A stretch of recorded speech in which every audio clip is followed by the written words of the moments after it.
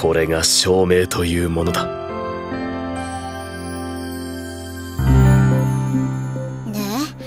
で例の恋愛実験の進展はどうなってんの？氷室。そうですよ。沖縄合宿で採取したオキシトシンの測定結果戻ってきたんですよね。うん。それが唾液を取り損ねすぎてしまって。検査結果が出るまでにはそれなりの時間がかかる。それならさ近場にちょっと心当たりがあるんだわ。